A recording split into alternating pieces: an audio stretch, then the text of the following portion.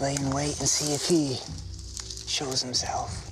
I'm not your typical survivalist. I'm an endurance athlete. My skill set's not knowledge. It's about being persistent. Over here, over here. Right there, right there.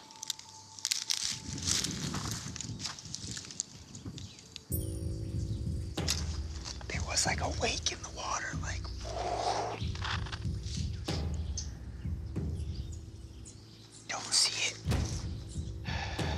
That croc could have gone from one end of this stream to the other. This is the second time I've seen this crocodile here. This is its home. I'm gonna head back so my my team's not worried about me. I think they come back tomorrow. Next time I'm gonna catch them.